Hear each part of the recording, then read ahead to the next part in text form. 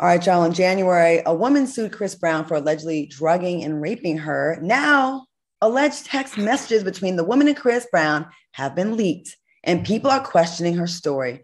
The text revealed that the woman relocated to Los Angeles immediately after meeting Brown and sought to meet up with him at least four times in the last year. Now, one of the texts to Chris Brown reads, I have a question um, do you just be wanting to F me or can we hang out like on some chill shit during the day?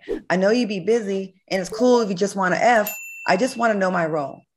Now, if these text messages are real, because nowadays, it's, I mean, you can doctor anything, um, does it shine a different light on the story? Because, you know, this is a whole different twist. Q, I see you chomping at the bit.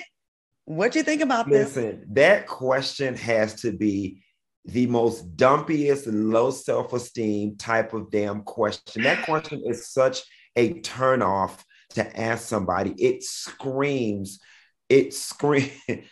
I'll just, take anything. Right. It screams groupie.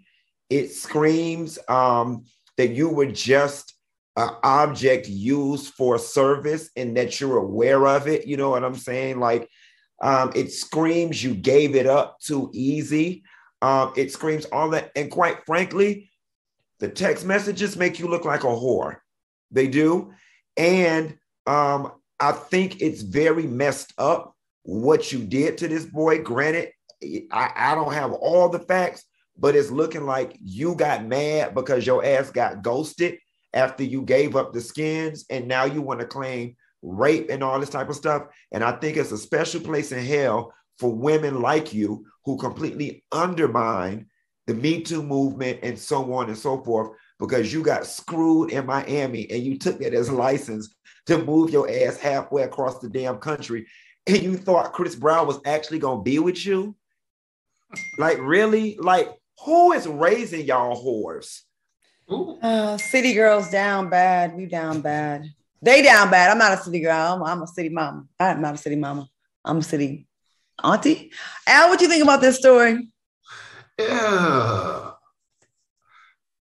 I'm I'm I'm I'm I'm I'm torn here. Um, number one, great job, Chris Brown, um, because the one thing that you have to do in a civil case when you're being sued for $20 million and you go in front of a jury is that you have to convince that jury, you have to put in doubt in their mind, just a 1% of doubt in their mind that she is after you for the wrong reasons. And these text messages proves that 100%. And from what we understand, it proves it so much that the woman's lawyer has now withdrawn from the case. So she's going to have to go out and get her another lawyer because any lawyer that has this case knows that those text messages will introduce suspicion and second thought on whether or not she got raped or whether this is a ploy to get money from Chris Brown. But I am still going to say this, and I've said this every time we talk about him and Trey Songz or whoever.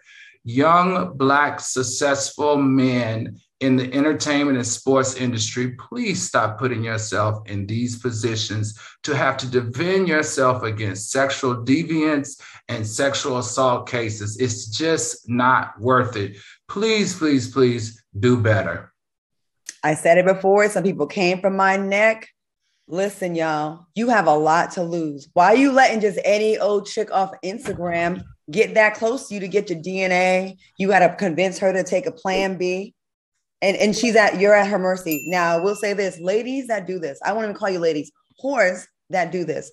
You um real victims of sexual abuse, we have no love for you. You mess it up for the ones that have a real case, and mostly the ones that have real cases are too afraid to come forward because bitches like you mess it up for the ones that's telling the truth. So please knock it off. And I would like for them to enact a law, pass a law, a bill where women that falsely accuse men of this, knowing it's false, that there's some kind of repercussions for this because the damage you do is not easy to just undo with the I'm sorry, my bad. She they hasn't even apologized. Get, they should get whatever sentence that he would get had it been true. I agree. You're doing a lot of damage to the man, and you're doing a lot of damage to your fellow women out there that are afraid to come forward for what you do, messing it up, crying wolf.